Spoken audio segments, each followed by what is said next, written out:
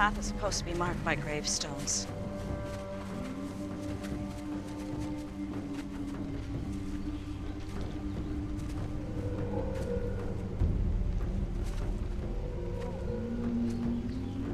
There's something there.